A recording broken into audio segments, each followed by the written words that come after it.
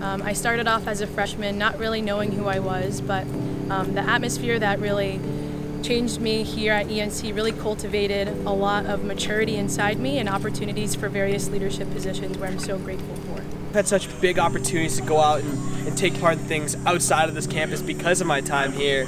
Uh, you know, just traveling and being a part of other things pertaining to my major. Uh, so, you know, ENC's just been a phenomenal opportunity for me, and it's going to be sad when I leave next year, honestly. I got two more years left, so I'm hoping I can make the most of them. A great aspect about ENC is the close proximity to Boston. Uh, as a guy from Philly, being able to hop on the T anytime I want and go into the city is just fantastic to me. People who make it like a home um, and just the education you're getting along with making lifelong friends and professors that really care about you. Um, I think what stands out to me about ENC is the the important character that we share as a campus. I think that as times change and as New Year's come, we always kind of start strong every year and are all, all on the same page and all together as a community. I actually had the opportunity to be a part of two sports, so I was softball and volleyball, and just coming into this atmosphere, I kind of thought that it was just going to be about sports.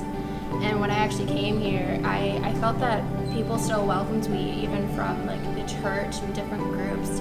Um, they were really just welcoming and wanting to get to know me rather than just labeling me as like a jock or like just an athlete. That's who I was. I didn't expect everyone to be so close here.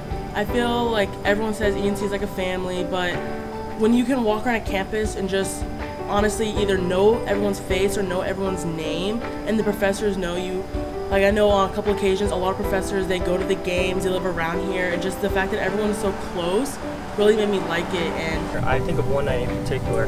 It was the first night of the men's volleyball team, and I just remember entering the gym and every row was filled, and all the students were just going crazy on every point um, for the men's volleyball team. It was it was outstanding. It was just the definition of what I believe this campus is. I mean, the energy, the love, the community. It was just amazing. ENC understands that what makes a college great is the people within it.